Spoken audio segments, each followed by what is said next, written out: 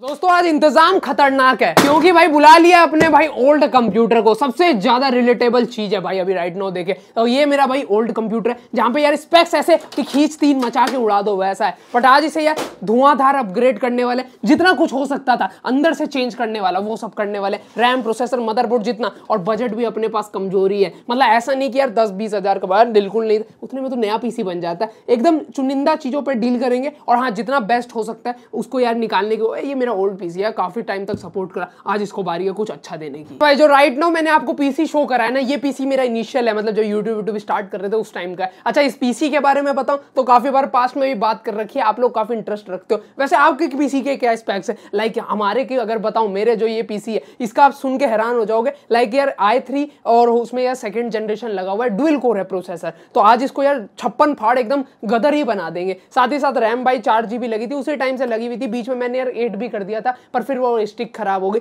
तो अभी भी करंटली भाई फोर जीबी रैम इसके अंदर एट द एंड देखा जाए तो एक डिसेंट सा पीसी है। डिसेंट क्या, कुछ भी नहीं है भाई, इसमें गेम वेम तो भूल ही जाओ। और हार्ड ड्राइव लगी थी ऊपर से। बट आज यार सिस्टम पूरा सेट कर देंगे। मतलब यहाँ पे क्या सिलसिला है अपना? इंटेल और ए अगर आप इन दोनों का पीसी यूज़ कर रहे हो और आपके पास एक लो एंड पीसी है। देखो लैपटॉप को हमने लैपटॉप पे अलग से वीडियो बना रखी है। आप आई बटन से देख लेना, वो स्पेशली लैपटॉप्स के लिए था। वहाँ पे भी ऐसे हल्का अपग्रेड मैंने बताया था। पर आज की वीडियो भाई बेसिकली ये पीसी यूज़र्स के लिए अगर आपके पास ए इंटेल का ऐसा कोई पुराना पीसी है जो दस, बारह हज़ार या पंद्रह हज़ार के प्राइस रेंज में होगा? तो आज यार पाँच हज़ार। पॉकेट में पैसे ही नहीं भाई बचे, ये पाँच हज़ार ही बचे हुए हैं। अब ये पाँच हज़ार से यार अपग्रेड आपको बताने वाला हूँ। क्या चीज़ें आप अपग्रेड करोगे? कहाँ तक आप परफॉर्मेंस पहुंचोगे? इवन हम लोग लाइव टेस्ट भी करने वाले तो समझ सकते हो यार एकदम टॉप लॉन्च चीज़ें निकल के आएँगी। बाकी एक चीज़ मैं बोलूँगा भाई एएमडी में मेरी भी वोट लग गई। क्या अपग्रेड करूँ? समझ नहीं आया। इंटेल में बहुत तगड़ा अपग्रेड पता चला तो सबसे पहले इंटेल जो मेरा पीसी है, वो खुद इंटेल का ही। तो उसे ही अपग्रेड मारते हैं। अब देखो यार सिंपल अगर मैं आपको बताऊँ तो इसमें हम बहुत सारी चीज़ें अपग्रेड कर सकते हैं कैबिनेट हो गया रैम हो गया प्रोसेसर बट जो मैं आपको बेस्ट बताने वाला हूँ, जिससे परफॉर्मेंस अप होगी, वैसे आप लाइटिंग के लिए बहुत कुछ कर सकते हो। अब हमें क्या करना है सबसे पहले? यहाँ पे देखो, अपना आपको मदरबोर्ड देखना है। अगर वो मदरबोर्ड सपोर्ट करता है तो आपको सर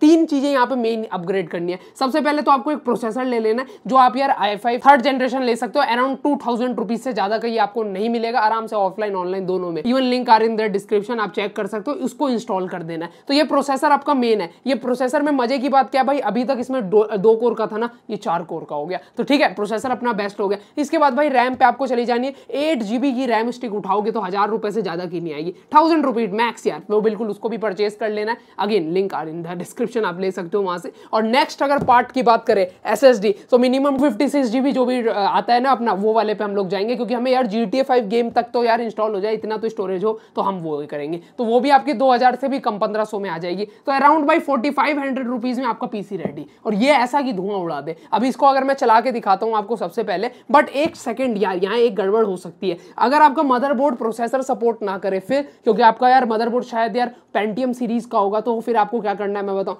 पाँच के बजट में। सबसे पहले आपको एक मदरबोर्ड लेना है। अगेन मदरबोर्ड में आपको पहले अपग्रेड करना पड़ेगा। उसके बाद आप प्रोसेसर एक खरीद लो। तो जो मैंने बताया ना आई फाइव थर्ड जनरेशन वाला, उस पर ही जाना है। तो मदरबोर्ड प्रोसेसर और हाँ आप रैम बढ़ा लेना या फिर एसएसडी जो आपका मन करे। तो उससे आपका पीसी थोड़ा बेस्ट हो जाएगा। फ्यूचर में पैसे आए तो जो आपने छोड़ा था लाइक रैम अगर ली थी तो एसएसडी अपग्रेड कर लेना एसएसडी ली थी तो रैम वो वाला सीन है। ऐसे करके यार इसको धुआँ उड़ा सकते हो। बाकी आओ, एक बार मैं आपको यार इसकी परफॉर्मेंस भी दिखा देता हूँ, जो हमने गेमिंग वेमिंग इस पे पास्ट में टेस्ट करे। ठीक है दोस्तों राइट नाउ जो आप पीसी देख रहे हो, इसका हमने पूरा बिल्ड किया था। ये दस हज़ार में हमने बिल्ड किया था। अगेन इसके अगर मैं आपको स्पेक्स दिखाऊँ तो वही कॉम्पोनेंट हमने यहाँ पे यूज़ करे, जो मैंने अभी आपको बताया ना आई फाइव हो गया अपना थर्ड जनरेशन के आसपास का है। और उसके अलावा भाई रैम अपनी आई एट जीबी आ गई। स्टोरेज तो चलो ठीक है। यहाँ मैंने यार गेम्स भी रखी, ऐसी बात नहीं है। हमने जब इस पर जी टी फाइव टेस्ट करी गेम अगेन भाई। लो ग्राफिक्स पे चल रही है। खेलने लायक है एक आदमी के लिए। रिकॉर्डिंग विकॉर्डिंग कुछ भी पॉसिबल नहीं है। बस आप हल्का फुल्का खेल सकते हो इंजॉय कर सकते हो फॉर इंजॉयमेंट यार। आगे बढ़े माइनक्राफ्ट ऐसी गेम है जो आराम से चल रही थी। इवन लाइट गेम्स आप आराम से खेल सकते हो, ऐसा है। और मल्टीप्लेयर गेम्स अगर देखो माइनक्राफ्ट तो होती है। तो वहाँ पे आप यार दोस्तों के साथ भी खेलोगे तो थोड़ा बहुत लैग हो सकता है बट मैक्सिमम चांस है बढ़िया चलेगा। बाकी हमने और भी बहुत सारी चीज़ें इस पर टेस्ट ऑन कर रखी है। उसके लिए आप आई बटन पे वीडियो देख सकते हो डेडिकेटेड वहाँ पे आपको एक कंप्लीट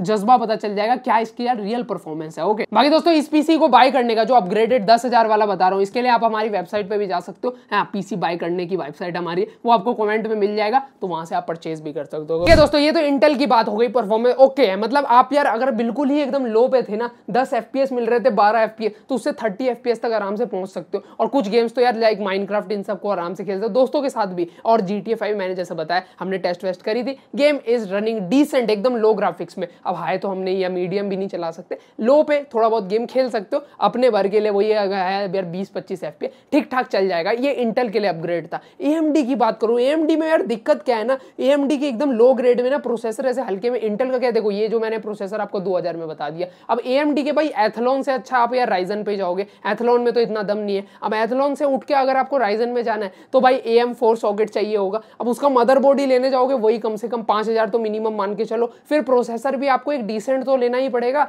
जैसे अपना आई आई फाइव का थर्ड जनरेशन है ये चार कोर का। ऐसा कुछ तो लोगे तो वहाँ पे भाई राइजन का थर्टी टू हंड्रेड जी या ट्वेंटी टू हंड्रेड जी भी लेते हो तो वो भी पाँच हज़ार के आएँगे। तो यही यार यहाँ पे समझना मुश्किल है क्या अपग्रेड करा जाए। तो देखो अगर आपके पास ए का पीसी है वैसे मेरे को लगता है बहुत कम चांसेस है एथलॉन पीसी हो लोगे होता भी है वैसी बात नहीं है बट तब भी। तो आपके पास यार बेस्ट रहेगा प्रोसेसर प्रोसेसर छोड़ दो मैं तो बोलूँगा इंटेल में शिफ्ट कर जाओ वो अच्छा है। बट हाँ, अगर नहीं करना चाहते हो तो भाई रैम और SSD यही दो चीज़ें जो आप अपग्रेड कर सकते हो। रैम बढ़ा लो एट जी पहुँचा दो और SSD तो आप लोग समझ ही चुके हो टू फोर्टी एट जी या टू फिफ्टी सिक्स जो भी अपना रहता है, उसको मिनिमम आपको रखना है। यही आप ए में कर सकते हो। इंटेल में बहुत ऑप्शन है। आप यार इंटेल में शिफ्ट हो जाओ तो बेस्ट रहेगा। बाकी चलो यार, इस वीडियो में इतना ही। अपग्रेड आपको बताया जाए, पाँच में हमने इंटेल का पहले भी देखा। ए का थोड़ा और बता दिया। तो ये कंप्लीटली सीन है। होप सो यार आपको वीडियो पसंद आई हो। अगर वीडियो पसंद है, बिल्कुल भाई लाइक कर सकते हो। सब्सक्राइब बनता है टेक रिलेटेड वीडियोस के लिए। शेयर कर देना। मिलते हैं नेक्स्ट में। तब तक के लिए बाय यार। जय हिंद, जय भारत। वंदे मातरम।